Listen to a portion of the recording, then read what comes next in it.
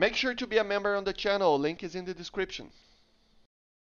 Hello guys, once again it's Matt and today we have another video. So, let's thank our members first. Silami, Astropub, Patrick, Lafush and Vivi, thank you for being member, it helps a lot. Be a member if you want to help the channel and make sure to subscribe. Let's get into it, join our Discord as well, I always forget to say that. So today we're going to talk a little bit about the F4M or the F4K and the F4K to be honest uh, or the FGR2 and the FG1, uh, the British Phantoms. So, uh, as you know, they were one of the greatest aircraft back in the day, and they are kind of not that good right now.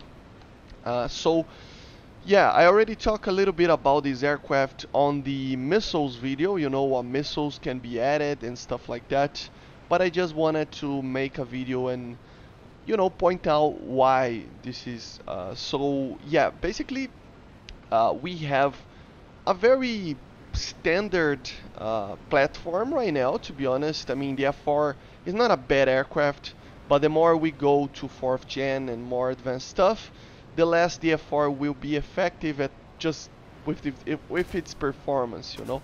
So um, without thinking about radars and stuff like that so yeah, it can be a problem just with that, of course, uh, because it doesn't turn very well, of course, and uh, in these variants you need to actually use the gun pod, which uh, decreases a lot of the performance of the aircraft, uh, and especially this one, which is one of the most interesting F4s in the game, because it has the Rolls-Royce engines, and that makes it so that it's very, very fun to fly and very different, you know. Um, yeah, that guy was he broke his wing and basically gave the kill for me. But yeah uh, it's an aircraft that it's very standard doesn't have anything going for it to be honest because it is obviously a 60s design and stuff like that. But obviously the engines together with the pulse Doppler radar even though it's not the greatest pulse Doppler radar ever uh, the APG-59 can be effect effective. You know it has a very large and very problematic blind speeds as you see on the radar right there. And other thing that it's problematic it only has the pulse Doppler vertical even, um, velocity. Even though it doesn't have the V on the side of the PD there it's only showing the velocity of targets going towards you or away from you. So it is kind of a problematic radar to deal with sometimes. Uh, and the engines even though they are good you don't have an internal cannon. So yeah you don't have the slats uh, like the other F4Es for example.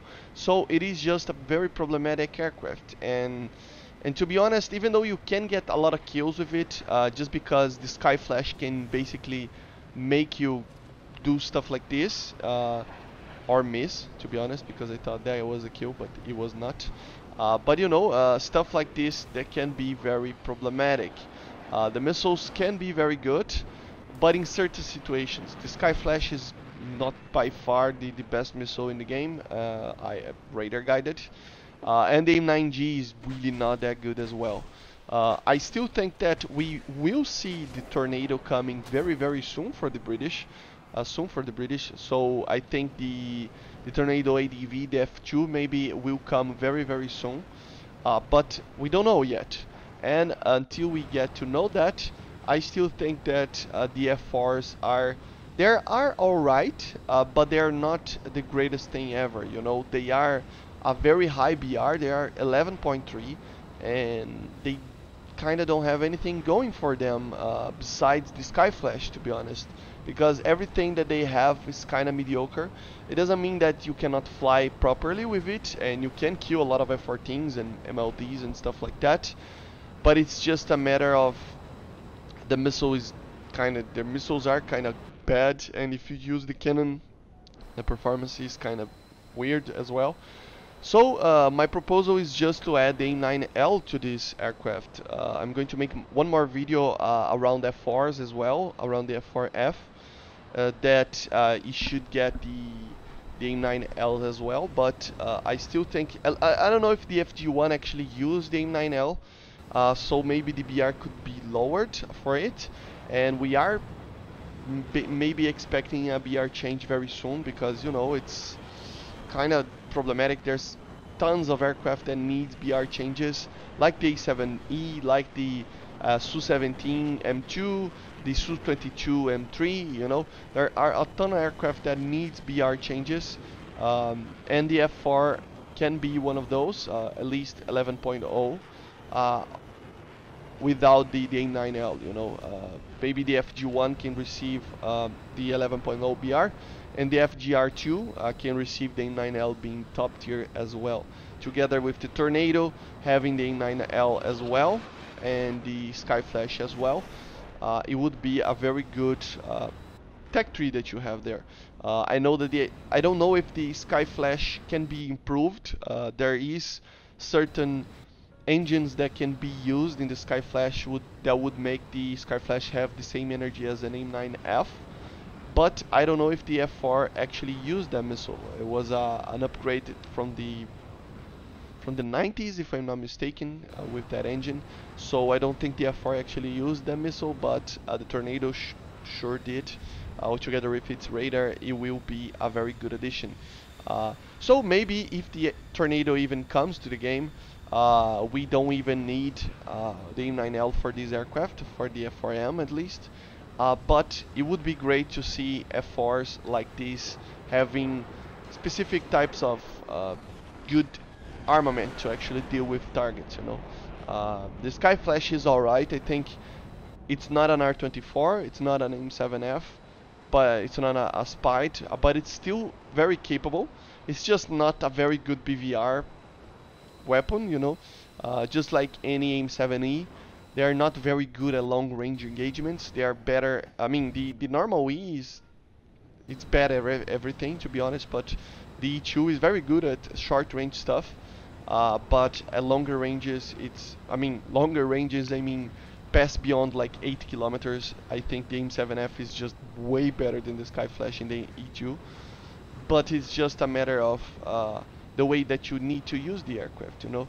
You can uh, receive stuff, uh, you can use it uh, as a, a dogfight weapon, uh, but it is just weird, you know. But still, you can use it. As you see on the gameplay, on the background, I use it a lot as that and together with uh, the best usages of the pulse Doppler it can be very effective as you're going to see with that this shot uh, it is a shot that I actually hit it with the first but I thought the missile was going to miss and I ended up shooting another one by complete mistake. But you know so the Skyflash can be very effective.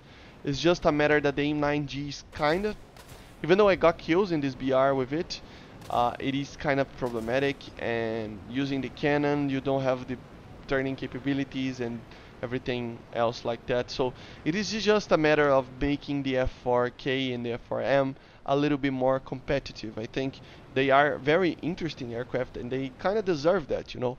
Uh, the same way as the MLD deserve the R60M maybe not right now but in the future uh, it deserves it. I think every aircraft should receive these type of um, ammunitions if they used in real life.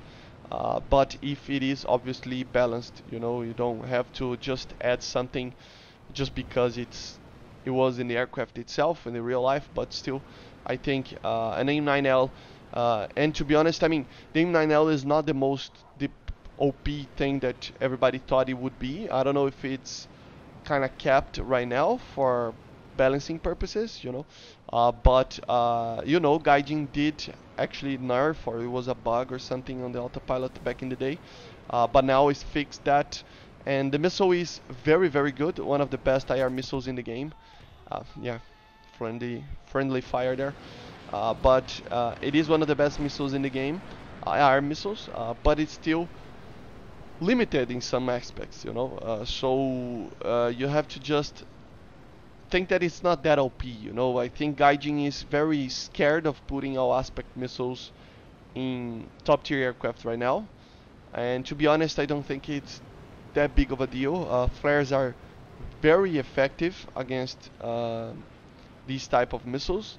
So it is just a matter of situational awareness, you know. In head-ons, to be honest, it's very, very easy to just ignore a target and ignore a missile and just flares and you don't even have to avoid the target, uh, the missile, you know. So it is just a matter of, I think, we should get the um, AIM-9Ls, uh, AIM AIM-9P4s for many aircraft. They use that. Uh, R60Ms for the MLA MLD. I don't think that changes too much in the meta. I think uh, maybe the statistics will tell me wrong, you know, uh, but because they actually add the, the R60M, for example, on the MiG-23M, and they didn't change the BR, so I guess, I mean, they didn't lower the BR, and they didn't uh, get the BR higher than it was. It's still 11.0, so I would guess that these statistics tell that the aircraft is alright, is not losing so much uh, as it was back in the day, but that it that is being helped by the MiG-23 MLD as well. So this could be a thing about that as well.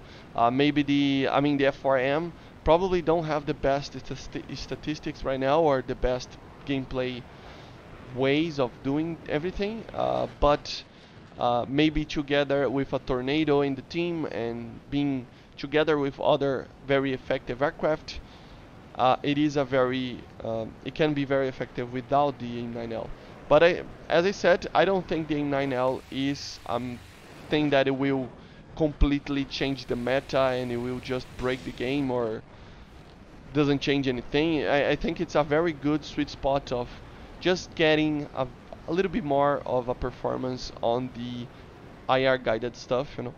So yeah, I still think that this needs the AIM-9L, but I might be wrong you know uh, this might be um, you know too much for for right now uh, maybe in the future because you know you we have compression obviously in, in War Thunder and that just becomes a, a problem uh, when aircraft like these um, like the F4s, like the MiG-23Ms, MiG-21 bases start facing stuff like the MiG-29 for example in the future or F-16 or even the F-14 so yeah I think it's it's a problem that we need to face uh, but I think it's just a matter of time until these aircraft actually receive a new missile. Um, I don't know maybe. Tell me in the comments what you think about that and yeah just let's uh, let's uh, comment a little bit on this match it was a very good one Therefore, things was ju were just getting stomped by the MLDs and stuff, and we were just able to get a couple of kills. Uh, as you're going to see, I mean, a lot of people just don't know how to use some aircraft properly. Not that I do, you know. Uh, I'm not saying that I do, you know, but still, uh, there is ton of improvement to be done in gameplay sometimes. So yeah, and that was a very optimistic shot for both of those missiles uh, and I saw the F-14 behind me. Uh, this was a problem, but I had a MiG-23 coming up to help me. Uh, but I knew that the F-14 was very, very fast. And, I mean, even though I'm literally a brick, flying brick, as you're going to see, and it produces a lot of heat, as you saw, the missile almost went for me. I managed to make the F-14 overshoot because it was too fast even for me like a flying brick that I'm flying. And got the reverse on on it and critical. And he's down. Uh, he's just burning actually. He's going to stay alive for a little while but I decided to go to help the Mirage there. It was a Mirage F1 it's not the greatest thing ever but uh, it is very dangerous with its uh, Magic 2s so you have to be careful at least with its missiles. Not that you need to be careful with the aircraft itself, but yeah. Ed, Fox 2. Completely missed that. Go for the guns and got the kill. Realized that the F-14 was coming towards us. Prepared the Sky Flash. Missile away. And last kill. So I hope you enjoyed. Let me know in the comments what you think about this and I see you guys on the next one. Bye guys.